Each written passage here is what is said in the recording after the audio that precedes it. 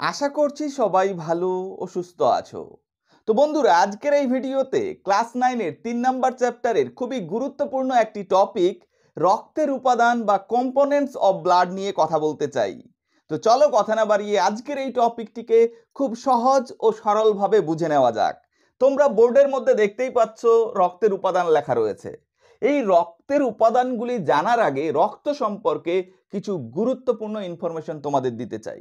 দেখো রক্তের বর্ণ অলরেডি তোমরা জানোই যে রক্তের বর্ণ হয় লাল। এবং কেন লাল হয় এটাও তোমরা জানো যে রক্তের মধ্যে থাকে হিমোগ্লোবিন। কি থাকে? হিমোগ্লোবিন। এই হিমোগ্লোবিন হচ্ছে একটা রঞ্জক পদার্থ। কি? রঞ্জক পদার্থ। রঞ্জক পদার্থ মানে এটা একটা রং। এই রংটার জন্যই এর বর্ণ হয় লাল। এটা তো তোমরা জানোই। এবার আসো এই যে হিমোগ্লোবিন, এই হিমোগ্লোবিন অ্যাকচুয়ালি দুটো জিনিসের সমষ্টি। একটা হচ্ছে হিম, আর একটা হচ্ছে গ্লোবিন। হিম অর্থাৎ এটা হচ্ছে লোহা, অর্থাৎ ফেরাস, ঠিক আছে? লৌহ যেটাকে তোমরা হয়তো খনিজ মূল এইভাবে লেখা থাকে, লৌহ। আর এই যে গ্লোবিন, এটা হচ্ছে কোথার থেকে, এটা কি জিনিস? এটা হচ্ছে এক ধরনের প্রোটিন।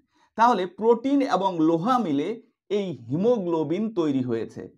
এবং এই হিমোগ্লোবিন আমাদের শরীরে ঠিকঠাক মেনটেন করা খুব বেশি জরুরি, খুব বেশি জরুরি। কেননা এই হিমোগ্লোবিনের মাধ্যমেই আমাদের শ্বাসবায়ু, এই যে আমি অক্সিজেন নিলাম, এই অক্সিজেন কিন্তু হিমোগ্লোবিনের মাধ্যমেই এক জায়গা থেকে অন্য জায়গায় যায়, এক কোষ থেকে আরেক কোষে যায়। এই জন্য ভাইয়েরা, বোনেরা তোমাদের বলব, স্কুল থেকে যে আয়রন ট্যাবলেট দেওয়া হয়। আয়রন মানে কি? আয়রন মানে লোহা না? ওই যে আয়রন ম্যান তোমরা সিনেমা দেখেছ? লোহার একটা পোশাক থাকে হিরোর গায়ে। তো এই যে লৌহ বা এই যে আয়রন ট্যাবলেটটা তোমাদের দেওয়া হয়, অবশ্যই তোমরা এটা খাবেই। কেননা সেই লোহার মাধ্যমেই আমাদের শরীরে হিমোগ্লোবিন তৈরি হয়, যেটা আমাদের শরীরে রাখা খুব বেশি জরুরি। ওকে এরপরে চলে আসো। আমাদের শরীরে যে রক্ত থাকে, তো সেই রক্তের পরিমাণটা কত? তো আমাদের শরীরে যে রক্ত থাকে, সেই রক্তের পরিমাণ হচ্ছে মোটামুটি ধরে নাও পাঁচ লিটার। প্রাপ্তবয়স্ক অর্থাৎ আঠেরো বছরের বেশি যাদের বয়স, মোটামুটি সত্তর কেজি যদি ওজন হয়, তাহলে পাঁচ লিটার বা পাঁচ লিটারের কিছু বেশি রক্ত শরীরের মধ্যে থেকে থাকে। ওকে এবার রক্তের রক্তের পিএইচ মানে রক্ত অ্যাকচুয়ালি টেস্ট কেমন রক্তের? ঠিক আছে? রক্ত তো আমরা খাই না তবে রক্তের আমাদের পিএইচটা জানতে হবে। তো রক্তের যে পিএইচ সেটা হচ্ছে সেভেন পয়েন্ট ফোর অর্থাৎ এটা হচ্ছে ক্ষারীয় টাইপের রক্ত হচ্ছে কি প্রকৃতির? ক্ষারীয় প্রকৃতির, এটা মনে রাখতে হবে। কারণ তোমরা জানো সাতের থেকে বেশি হলে সেটা খার মানে খার টাইপের হয়, সাত থেকে কম হলে সেটা অ্যাসিড টাইপের হয়। তো এইগুলো কিছু তোমরা তত্ত্ব মনে রাখবে। এবার চলে আসো আমরা আসল যে আমাদের মেইন পার্ট রক্তের উপাদান নিয়ে আমরা কথা বলতে চেয়েছিলাম, সেই রক্তের উপাদানে আসি। দেখো, রক্তের প্রধান হচ্ছে দুটি উপাদান। রক্তের প্রধান কয়টি উপাদান? দুটি উপাদান। নাম্বার ওয়ান হচ্ছে রক্ত রস রক্ত রস বা এটাকে আমরা প্লাজমা বলে থাকি। কি বলি? প্লাজমা।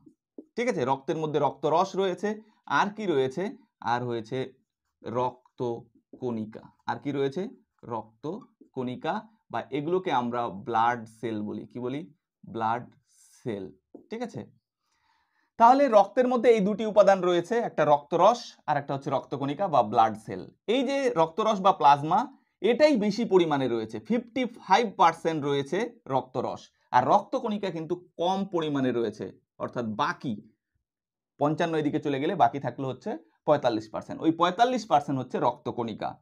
এবার চলে আসো, এই যে রক্তরস, যেটা নিয়ে আজকে আমরা মূল আলোচনা এই রক্তরসের মধ্যে কি কি রয়েছে? দেখো, রক্তরসের মধ্যে বেশিরভাগটাই কিন্তু জল।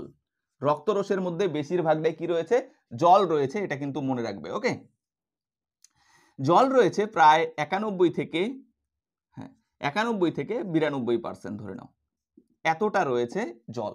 আর কি রয়েছে? কিছু কঠিন পদার্থ রয়েছে। কঠিন পদার্থ। ওকে, কত পার্সেন্ট রয়েছে? এই ধরে নাও, সাত থেকে আট পার্সেন্ট। আর এক থেকে দুই পার্সেন্ট রয়েছে তোমাদের গ্যাস। কি রয়েছে? গ্যাস এক থেকে দুই পার্সেন্টের মতো। তাহলে এই নিয়ে হান্ড্রেড পার্সেন্ট হয়ে যায়। বোঝা গেল? এবার চলে আসো রক্ত রসের মধ্যে যে জল রয়েছে, যেটা জলীয় উপাদান, একদম তরল উপাদান, সেটা তো বেশি পরিমাণে রয়েছে, যে কঠিন পদার্থ রয়েছে সাত থেকে আট পার্সেন্ট এর মধ্যে কিছু রয়েছে জৈব পদার্থ এবং কিছু রয়েছে অজৈব পদার্থ। তো এটা তোমাদের মনে রাখতে হবে যে কঠিন পদার্থের মধ্যে কিছু রয়েছে জৈব পদার্থ। আর কিছু রয়েছে অজৈব পদার্থ। মনে রাখতে হবে।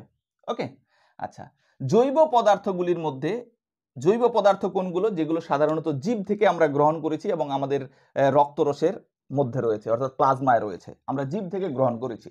তো জীব থেকে যেগুলো আমরা পেয়ে থাকি যে খাবারগুলো আমরা খাই, তার মধ্যেই হবে তো এই জৈব পদার্থগুলির মধ্যে কিছু রয়েছে প্রোটিন, কিছু রয়েছে কি? প্রোটিন।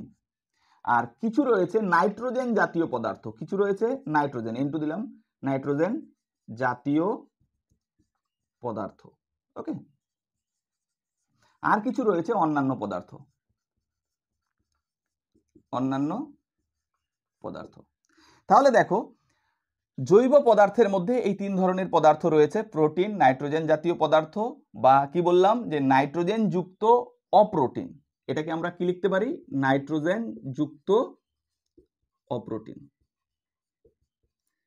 মানে নাইট্রোজেন আছে কিন্তু সেটা প্রোটিন নয়, আর কিছু অন্যান্য পদার্থ রয়েছে। তো প্রথমে চলে আসি আমরা যে কি কি প্রোটিন রয়েছে। তো এখানে রয়েছে সিরাম উদাহরণ উদাহরণ লিখছি কিন্তু হ্যাঁ প্রোটিনের উদাহরণ। Serum, albumin. রয়েছে এখানে থ্রোম্বো প্লাস্টিন রয়েছে প্রো প্রোথম্বিন। আর কি রয়েছে? Serum globulin. তাহলে এগুলো হচ্ছে প্রোটিন, যেই প্রোটিনগুলো রক্ত রসের মধ্যে রয়েছে। এরপরে নাইট্রোজেন জাতীয় যে পদার্থগুলো বা নাইট্রোজেন যুক্ত অপ্রোটিনগুলো সেগুলো কি? সেগুলো হচ্ছে ammonia. Ammonia. Urea. Uric acid. Uric acid. Creatine. তারপরে ক্রিয়েটিনিন। এই যে পদার্থগুলো, এই পদার্থগুলো কিন্তু নাইট্রোজেনযুক্ত অপ্রোটিন বা নাইট্রোজেন জাতীয় পদার্থ। এছাড়া হচ্ছে জ্যানথিন রয়েছে।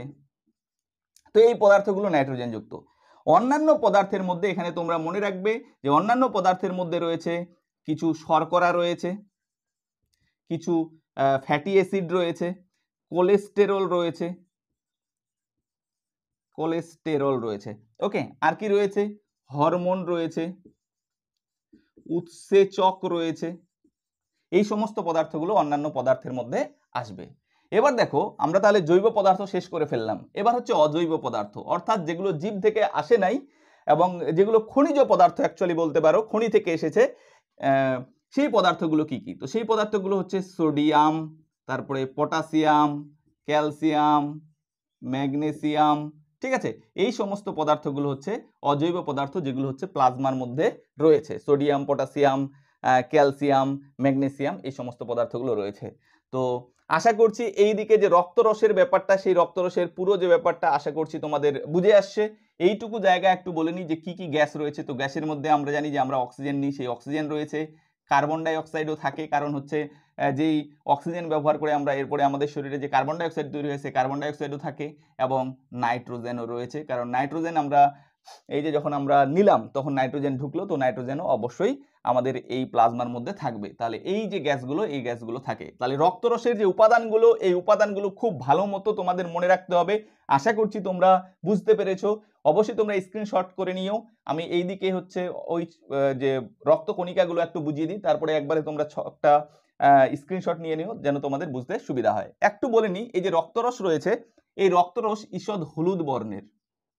ঈষৎ কি? হলুদ বর্ণের হয়।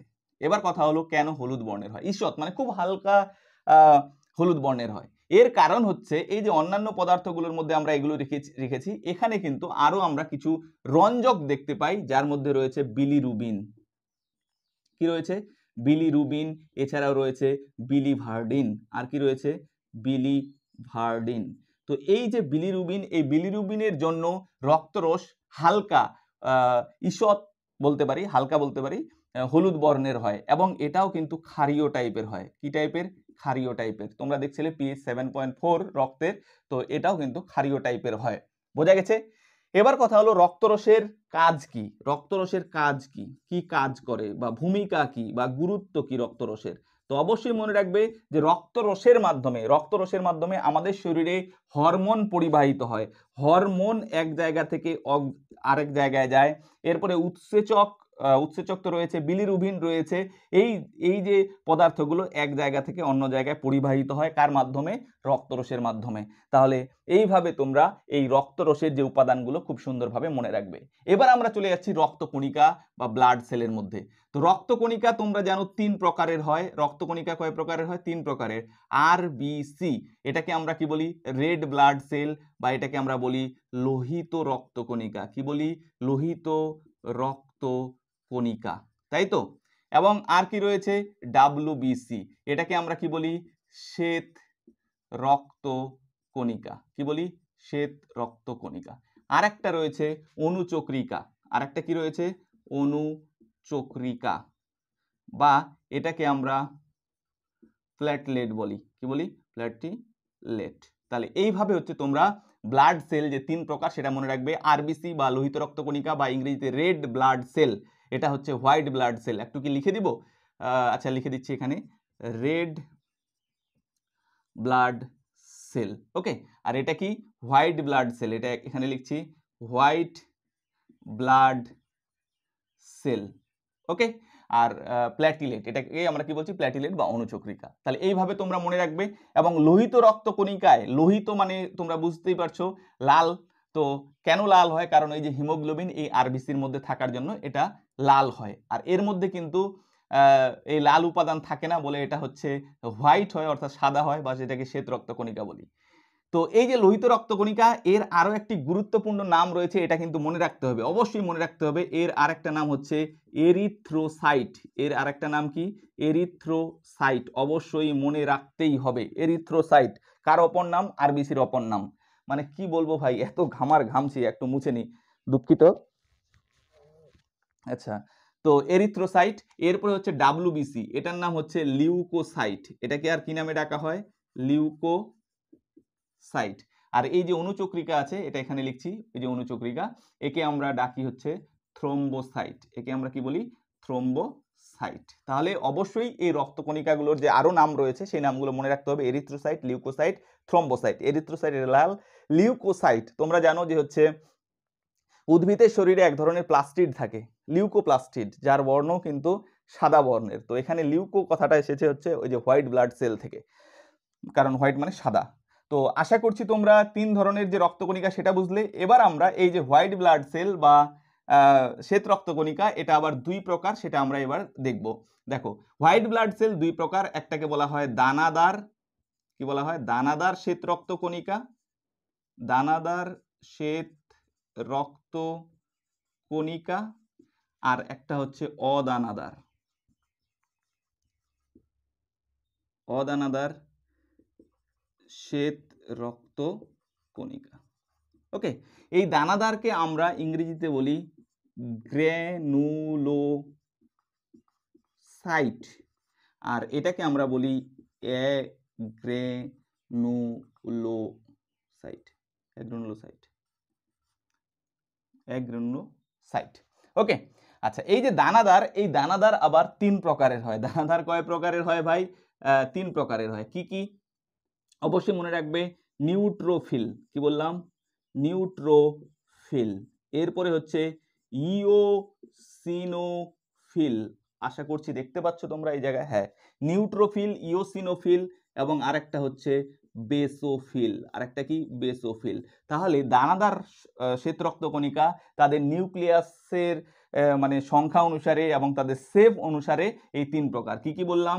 নিউট্রোফিল, এরপরে ইওসিনোফিল এবং বেসোফিল। আর এই যে অদানাদার রয়েছে, এই দনাদা অদানাদার দুই প্রকার। আমি অদানাদারটা এখানেই লিখছি, এই জায়গাতেই লিখছি। একটা হচ্ছে লিম্ফোসাইট, একটা কি বললাম? লিম্ফোসাইট আর একটা হচ্ছে মনোসাইট আর একটা কি লিখলাম? মনোসাইট। আশা করছি দেখতে পাচ্ছ তোমরা। তাহলে অদানাদার দুই প্রকার লিম্ফোসাইট এবং মনোসাইট। তো এই যে ছকটা, এই ছকের সাহায্যে রক্তের যত উপাদান রয়েছে, আশা করছি সবগুলো বুঝিয়ে দিতে পেরেছি। এরপরেও যদি তোমাদের কোনো সমস্যা থাকে, অবশ্যই আমি চব্বিশ ঘণ্টা উপস্থিত রয়েছি তোমাদের কমেন্টের উত্তর দেওয়ার জন্য। তো অবশ্যই কমেন্ট করে জানাবে। রক্তের উপাদানগুলি তোমরা অবশ্যই এখানে স্ক্রিনশট করে নাও, আমি সরে দাঁড়ালাম। স্ক্রিনশট করে নিলে এক জায়গায় সমস্ত কিছু থেকে যাবে। তবে আমি এখানে রক্তরস নিয়ে একটু আলোচনা করেছি, কাজ নিয়ে কথা বলেছি, এর বর্ণ নিয়ে কথা বলেছি। রক্ত কণিকা নিয়ে এরপরে আরেকটি ভিডিও আসবে, যেখানে সমস্ত রক্ত রক্তকণিকাগুলো আরবিসির উৎপত্তি কোথা থেকে উৎপন্ন হয়, দেখতে কেমন, এর কাজ কি, অর্থাৎ গুরুত্ব কি, সেগুলো নিয়ে আমরা আরও একটি ভিডিও আপলোড করব যেখানে রক্তকণিকা নিয়ে শুধুমাত্র বর্ণনা থাকবে। তো দেখা হচ্ছে শীঘ্রই পরের ভিডিওতে যেখানে রক্তকণিকা বা ব্লাড কর্পাসাল বা ব্লাড সেল নিয়ে আমরা কথা বলব। ততক্ষণ সবাই ভালো থেকো এবং সুস্থ থেকো।